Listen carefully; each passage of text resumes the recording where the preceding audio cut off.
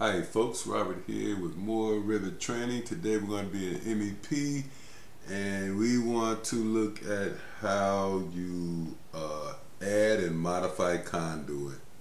That's going to be the question of the week. So here I have this file from one of my old ASCENT books and uh, we're going to have a look here. So what happens when you uh, work with conduit. It's, it's similar to uh, cable tray that we just worked on. So you know you always have to go into your systems tab here and you go to electrical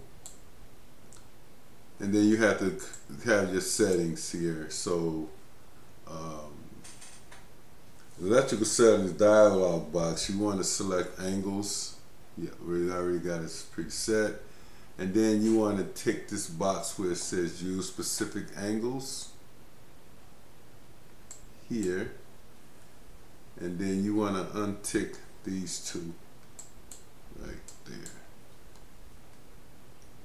And then we'll say okay. Now we have an electrical plan here and we're gonna um, zoom into the electrical room area here this is our electrical room. And then in the systems tab, we want to click conduit. So now here, uh, okay, we've selected. Okay, now here in the properties, we've got, uh, this is the type we're going to use. So we got uh, uh conduit with fittings, non-metallic, rigid RNC, uh, right? Schedule 40 and then uh, in the options bar we want that to be two and so everything seems to be set at the default and our elevation is uh, offset is nine foot six. So then once you get all that where you want it to be or all the sections all right you want to just select this LP1 panel Okay, now once it's selected, okay, then you have your connector here. And we can move this guy around if we want, but for this time, I guess we can just leave it in the center. And then we'll click here. See, this you can move connected with this DAC here, but okay, we'll just finish that. And then I want to just drag this conduit all the way to the end here. Okay, just to show you how this works. We're going to drag it all the way down to here, let's say.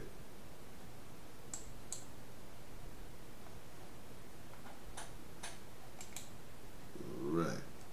And then I'll bring another conduit from here to here.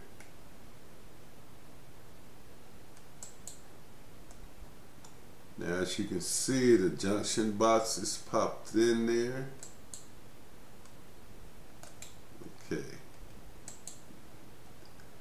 And then again we want to go from here to here. So basically you want to get conduit that's going to go all through this uh, this level. So I'm going to come in here, maybe that one there.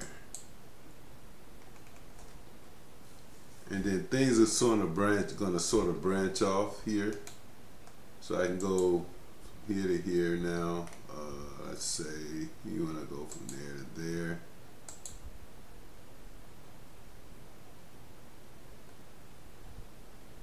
And here to here. I think I get that pick that up. Yep. Uh-oh.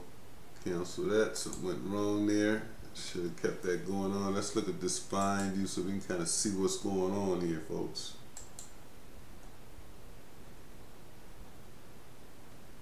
So there is our conduit, and I wanted to just take this guy on through. And conduit, yep. take it there there. I hope I got it. I don't know if I do or not. Let me see if I can. Okay, so we're all good there. So I want to just come and drop a few through here like so as you can see the, the, the, the boxes already automatically pop in. And then here we can also go to the systems tab again. And let's select uh, this one here conduit fittings. And let's go to the ends and just place a box there.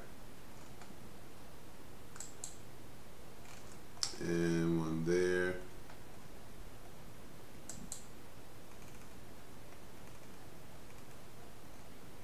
and there okay so now we have our, our, our, I would say our first run. Uh, this is basically how you would lay your conduit out and we can go in here and have a look at this uh, and we can add additional conduit here. Uh, let's go look at this in our section. Let's just cut a section through here and see what, what this looks like or even in 3D view if we can't see it. Oh boy, I don't know.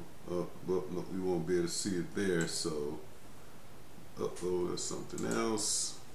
Here we go. So here I'll just drop a section right through here.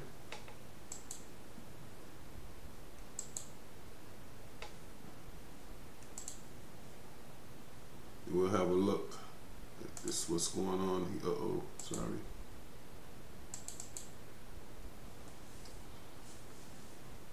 So there's our section view now. I'm going to make this fine so we can see what's going on here. Alright, so, okay, let me just pull this guy down because I think our,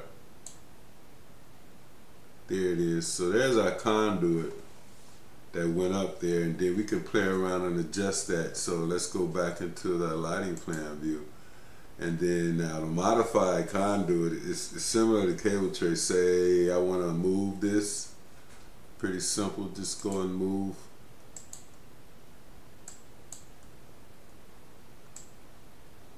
So I want to move that run that way there a little bit and I could do that.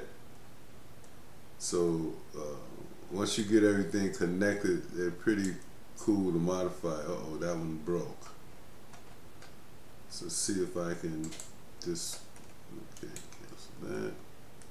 Extend this in. But this this is simple. That's how you do it. That's how you uh, add and modify conduit in Revit. uh, pretty simple and straightforward. And again, here, our panel.